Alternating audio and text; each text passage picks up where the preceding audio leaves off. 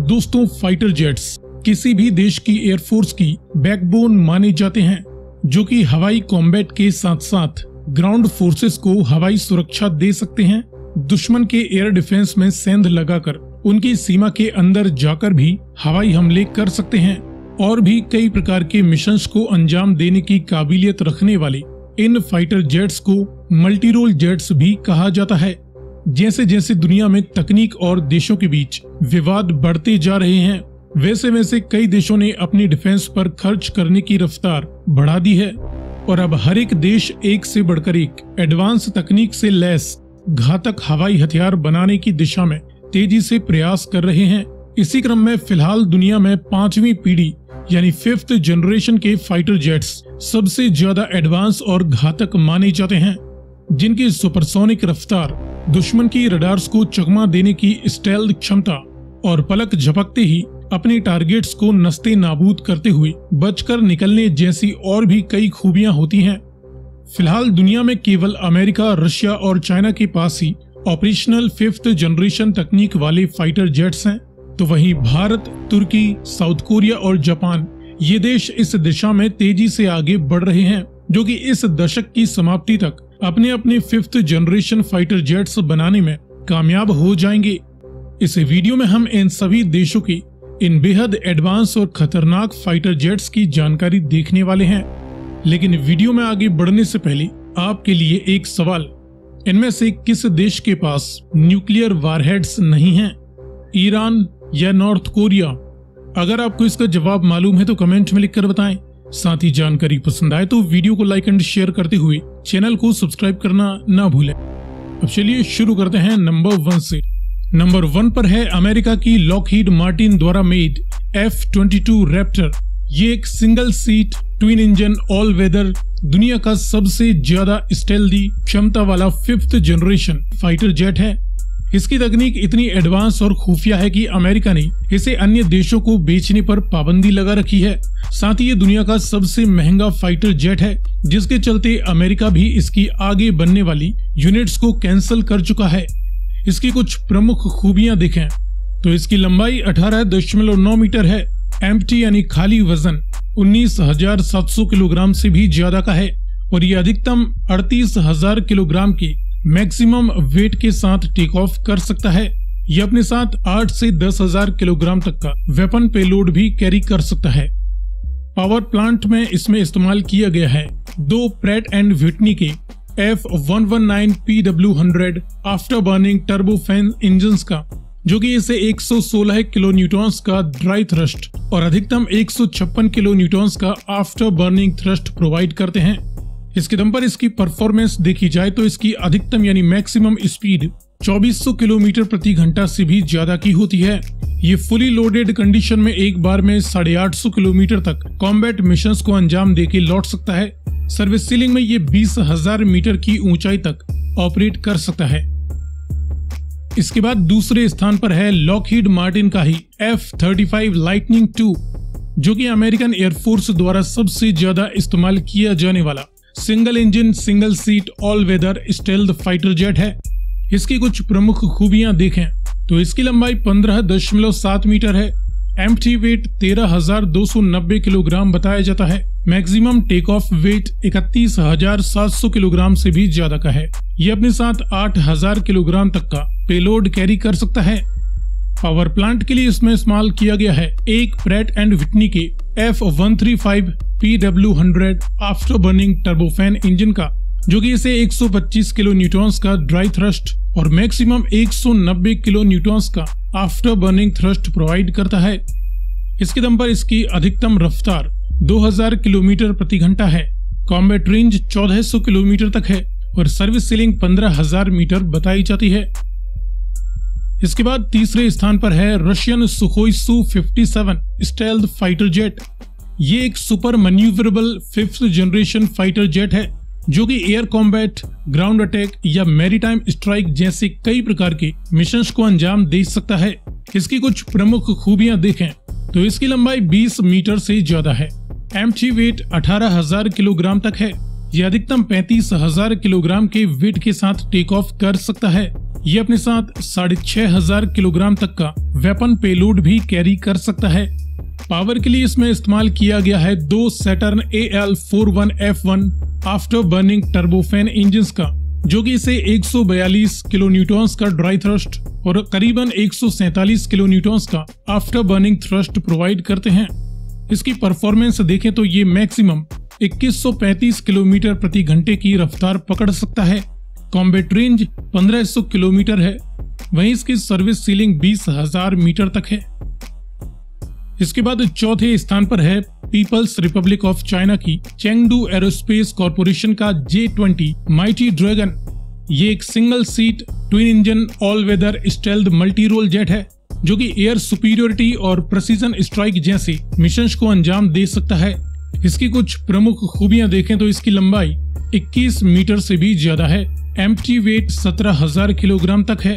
Maximum take off wait सैतीस हज़ार kilogram बताया जाता है। ये अपने साथ अधिकतम ग्यारह हज़ार किलोग्राम तक का वेपन पेलोड भी कैरी कर सकता है।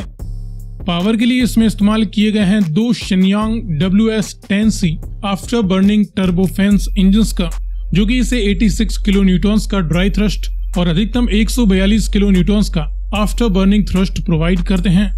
इसकी परफॉर्मेंस देखें तो इसकी अधिकतम रफ्तार 2460 किलोमीटर प्रति घंटा बताई जाती है।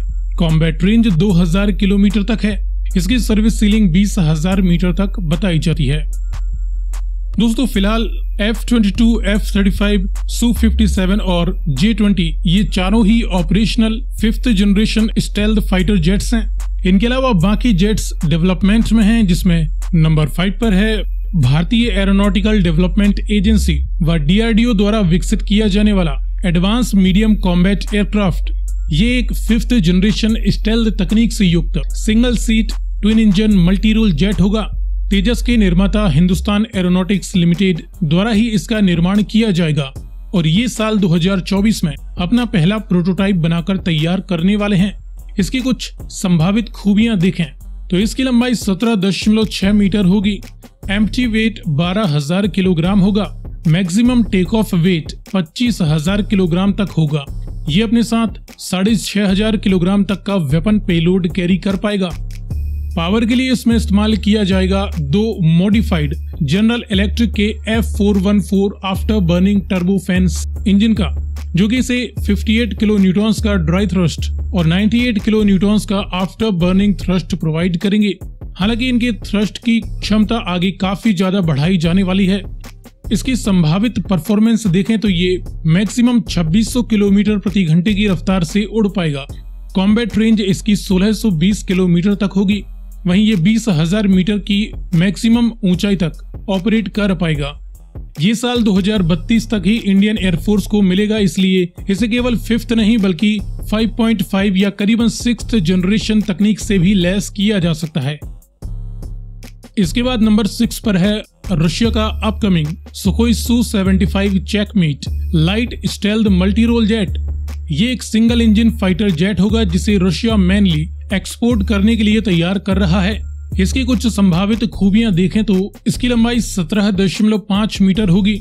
इसके एम वेट की जानकारी फ़िलहाल पब्लिकली अवेलेबल नहीं है, लेकिन इसका मैक्सिमम टेक ऑफ़ वेट बीस हज़ार किलोग्राम तक बताया जा रहा है।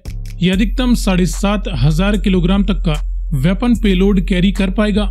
इसकी परफॉर्मेंस की बात करें तो इसकी अधिकतम रफ्तार 2200 किलोमीटर प्रति घंटा बताई जा रही है।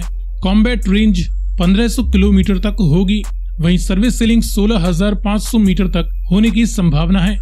रशिया इसे भारत वियतनाम अर्जेंटीना व कुछ अरब देशों को भी बेचने के लिए तैयार कर रहा है। इसके बाद नंबर सेवन पर है तुर्किश एरोस्पेस इंडस्ट्रीज़ का T F X fifth generation stealth multi role jet जो कि एक ट्विन इंजन फाइटर जेट होगा और साल 2025 से 2033 तक ही पूरी तरह बनकर तैयार हो पाएगा। इसकी कुछ संभावित खूबियाँ दिखें तो इसकी लंबाई 19 मीटर तक होगी। इसका एम्प्टी वेट 14,150 किलोग्राम बताया जा रहा है। Maximum take off weight 27,200 kilogram तक होगा। इसकी संभावित परफॉर्मेंस की बात करें तो ये 2400 किलोमीटर की अधिकतम रफ्तार से उड़ पाएगा। इसकी कॉम्बैट रेंज 1100 किलोमीटर तक होगी। सर्विस सीलिंग बीस हज़ार मीटर तक होने की संभावना है। इसमें तुर्की, अमेरिका व अन्य देशों के साथ साथ पाकिस्तान की भी मदद लेने वाला है। इसके बाद नंबर एट पर है Chinese Shenyang F C thirty one fighter jet जो कि लंबे समय से डेवलपमेंटल स्टेज में ही है। और अमेरिका का मानना है कि ये फिफ्थ जनरेशन की बजाय हमारे फोर्थ जनरेशन फाइटर जेट्स की जानकारी को चाइना द्वारा चोरी करके बनाए जाने वाला एयरक्राफ्ट होगा।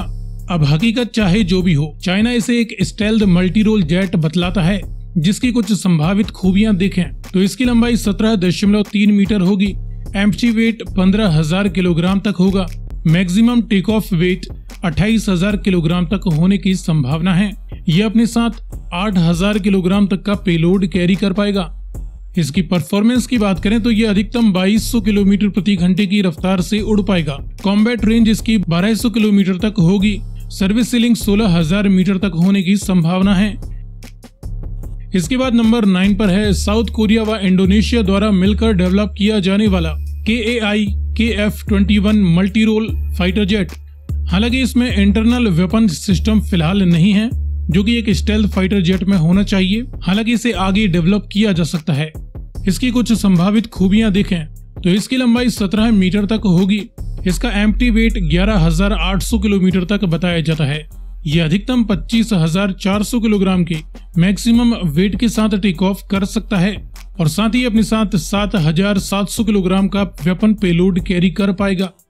परफॉर्मेंस में ये 2000 किलोमीटर प्रति घंटे की रफ्तार से उड़ पाएगा। इसकी कॉम्बैट रेंज साढ़े आठ किलोमीटर बताई जाती है। सर्विस सीलिंग करीबन बीस हज़ार मीटर तक होगी। दोस्तों, फ़िलहाल ये नौ ही confirmed fifth generation stealth aircraft हैं व आगे होंगे। वहीं जापान भी अपने पहले स्टेल तकनीक से युक्त एडवांस टेक्नोलॉजी डिमोन्स्ट्रेटर एक्स को डेवलप कर रहा है। लेकिन जापान फिफ्थ जनरेशन जेट की बजाय अपनी सिक्स जनरेशन फाइटर जेट में इसकी तकनीक का इस्तेमाल करेगा। फ़िलहाल वीडियो में दी गई जानकारी पसंद आई तो इसे लाइक एंड शेयर करते हुए चैनल को सब्सक्राइब करना ना भूलें।